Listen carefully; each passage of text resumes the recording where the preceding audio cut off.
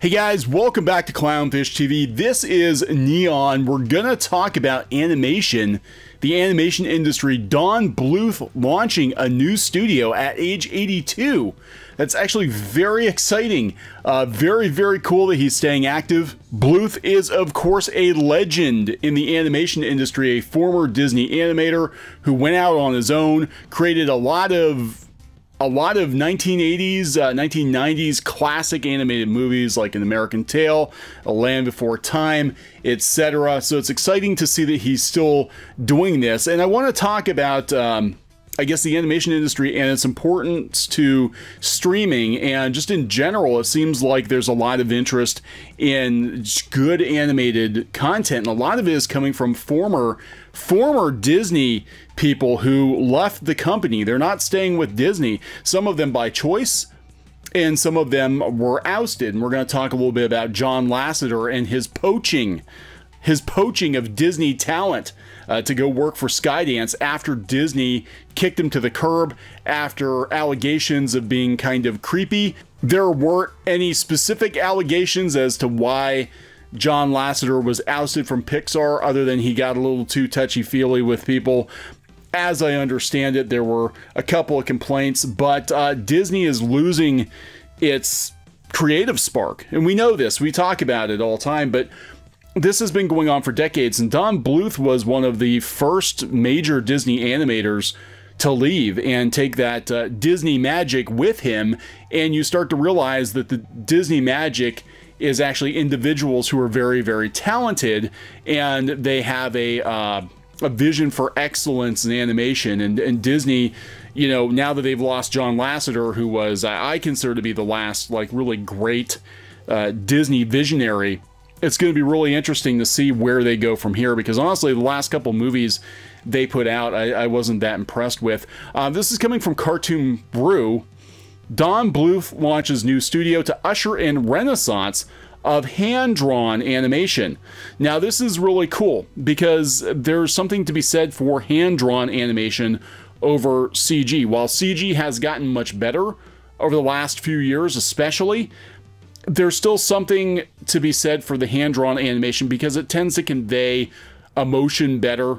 Um, I think, and it tends to reflect more on the individual artist because a lot of times uh, animators are given characters to basically act as. If you talk to anyone who's worked on like a major production at Disney, a lot of times they'll give them a character. Like you are the you are the Ursula animator. You you animate all the key scenes with Ursula in it, and you can tell there are certain styles that come through, certain facial expressions that come through. If you become familiar with uh, classic 2D animators, you can tell Don Bluth from like Chuck Jones, right? I mean, you can just tell in the way that the characters are drawn and animated. Uh, you can tell Don Bluth from Glen Keane, who we're also going to talk about.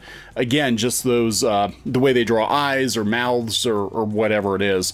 Um, so while Netflix develops an adaptation of his iconic game Dragon's Lair, Don Bluth 82 is looking ahead to future projects.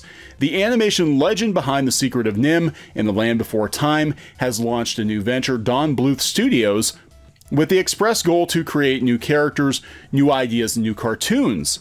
The announcement was published on the studio's Facebook page. We believe the public is craving another renaissance of hand drawn animation. It continues.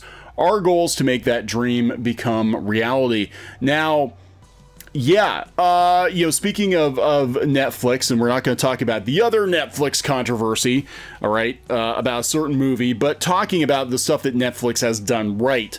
Uh, one of the things that Netflix has done right is Klaus.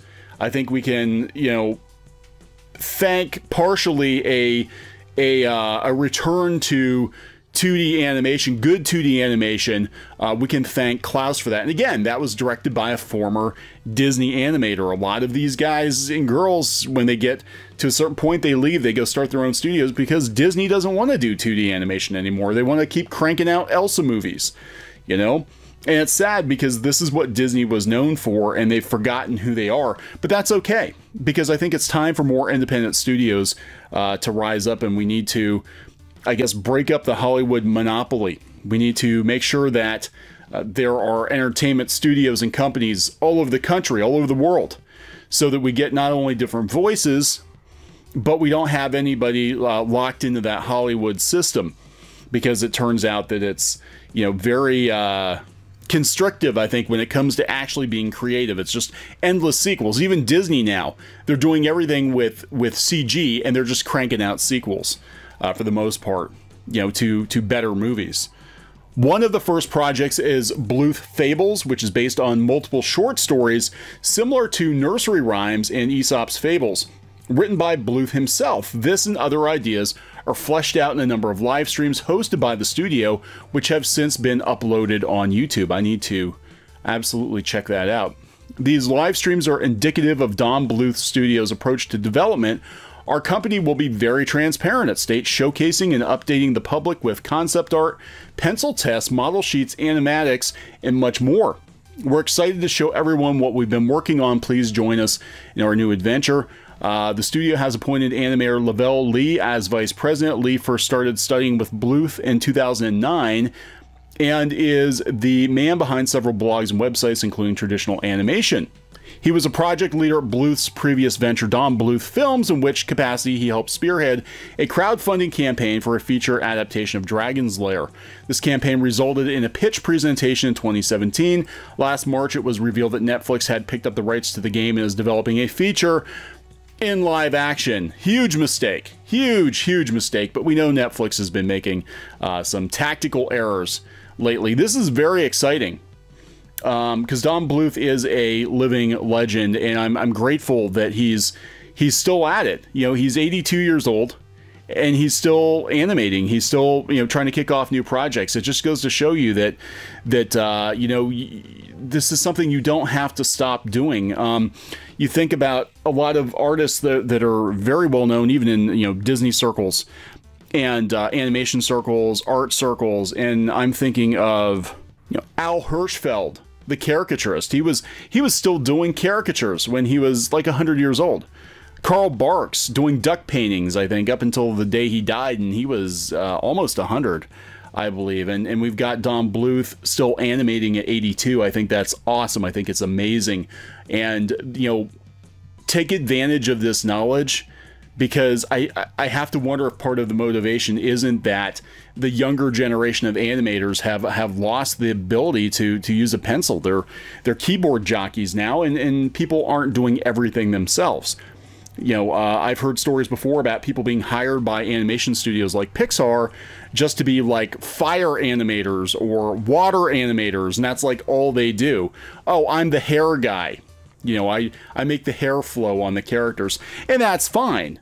But there's something to be said, you know, to be able to pick up a pencil and do a whole scene pretty much yourself. And that's why I like uh, I like a lot of the independent YouTube animators quite a bit because you see that that uh, spark, that uh, ingenuity that uh, the big studios don't have anymore. Now, speaking of Netflix, again, not talking about that movie, not talking about that movie, but this is kind of ironic. They said they want to beat Disney in family animation. And, you know, Klaus was amazing. We praised it heavily when it came out last year. Uh, I love that movie. It's everything that a Disney movie should be, but isn't anymore because Disney has become a cold, heartless corporation compared to what it used to be, and everybody's leaving. All their talent is leaving. But Netflix says it wants to beat Disney in family animation. And I know there's some irony in this because of uh, cuties you know, but they have put out some amazing animated movies. The Willoughbys, which is CG, but it looks like clay. Uh, Klaus, which is, I, I, can't say enough good things about Klaus. It's absolutely amazing. And the other one, uh, Over the Moon, uh, which I'm going to talk about, that's coming from Glen Keane. Now, Glen Keane is another animator's animator. He was a, a Disney animator who was uh, probably best known for The Little Mermaid and a lot of the Disney Renaissance films, and you can see his style even in the the, the CG characters. But uh, Over the Moon is coming out on Netflix, and it looks better than anything Disney's put out in the last couple of years. I, uh, to be honest, uh, it does, and a lot of these movies do. A lot of the movies coming from Netflix look better than what Disney's producing. But damn it, Netflix cuties, come on, come on. Uh, this is you know this is why we keep our Netflix subscription. Honestly, is for the animation. But uh, it's so ironic that they want to be they want to be the family destination. But the thing is, is Disney's losing its magic. They are, and it, its magic is its people. It's again, it's good to see Glen Keane doing animation now. One of the key people at Disney who is responsible for all the uh, you know good Disney animated movies in the last you know 12 15 years is John Lasseter.